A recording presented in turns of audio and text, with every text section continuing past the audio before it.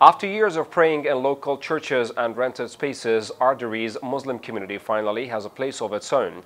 The community now owns a lot and two buildings, a lot and two buildings where it plans to build a brand new mosque that will serve the city's growing Muslim population.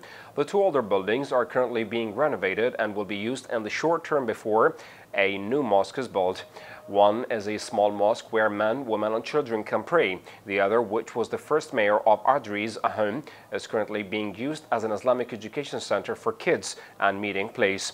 The buildings will eventually be demolished and replaced by a new mosque, complete within a dome with a dome and minaret. For the Muslim community of Airdrie, it's something historic even for the for, for more the city of Airdrie is just historic, said Syed Soharwardy with Al Madinah Calgary Islamic Assembly, the organization behind the Airdrie Mosque. Members of the community say the new mosque will be welcoming and much more than a place of worship. We're trying to bring the community together. It's like a cultural hub for us with potlucks and parties, said Mona Shah or Shehzad. We are not only Muslims here, but we are trying to be good Canadians also, and we want to practice the good values and transfer those good values to our next generation, said Shehzad.